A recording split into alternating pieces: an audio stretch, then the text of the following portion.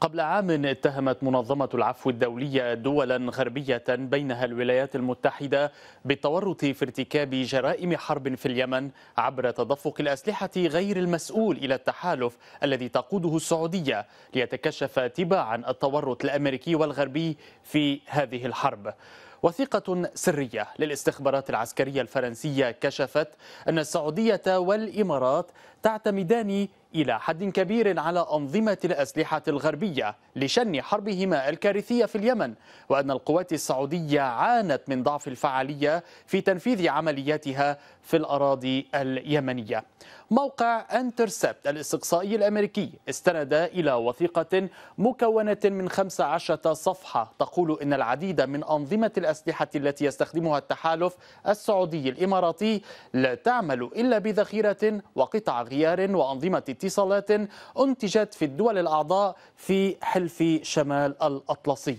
وفي مقال بعنوان تقرير سري يكشف مدى عجز السعودية في اليمن ومدى اعتمادها على الأسلحة الأمريكية. يذكر الموقع أن المعلومات المتعلقة بأنظمة الأسلحة في السعودية والإمارات جزء يسير مما كشفه التقرير السري للاستخبارات العسكرية الفرنسية الذي حصلت عليه مؤسسة ديسكلوز الفرنسية المتخصصة في الصحافة الاستقصائية.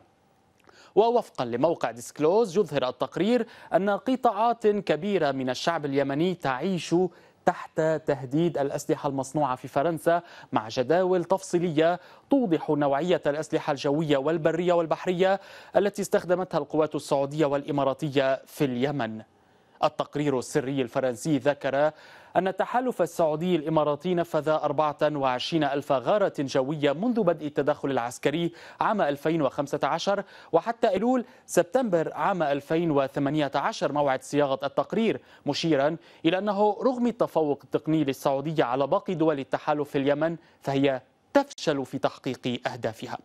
الحكومة الفرنسية التي تدافع دائما عن صفقاتها لبيع السلاح للسعودية سارعت إلى تبرير ما ورد في الوثيقة السرية من دون أن تنفيه وقالت في بيان إن فرنسا تطبق معايير سلامة مشددة عندما تصدر تراخيص للتصدير وتدعم جهود الأمم المتحدة في الوساطة من أجل إحلال السلام في اليمن.